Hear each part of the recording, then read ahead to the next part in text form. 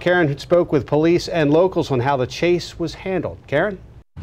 Steve, that pursuit ended right here near Milford, right along Route 1 where I'm, I'm standing, but not after a 70 mile cat and mouse game with police. Now, this pursuit is spurring debate once again over police pursuits and safety. Some say police might have been too excessive in that pursuit. No, others say officers did what they had to do.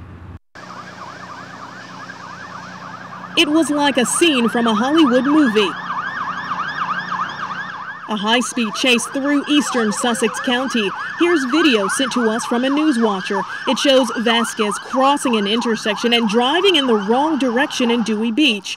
All in all, police officers chased him for almost two hours through multiple towns. And that has some people questioning whether police should have hit the brakes and stopped the pursuit. They could have killed people by chasing him.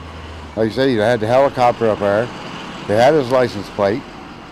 Let him go, get home, and then go get him. Others say he had to be caught. I, I would think that, you know, they did the best to their abilities and did what they thought was best. Lieutenant Edward Huey with the Milford Police Department says there are protocols officers must follow during pursuits. Those include a number of considerations, ones that must be made almost immediately. The weather, the traffic uh, conditions, the uh, road conditions, the conditions of uh, the, the suspect vehicle's car, um, the that driver's abilities. Huey says ultimately it's up to the officer to decide what's best during a chase.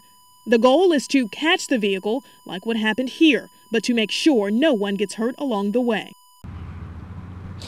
And Huey says most of the police departments in Delaware follow a model policy. That policy was adopted by the Delaware Police Chiefs Foundation.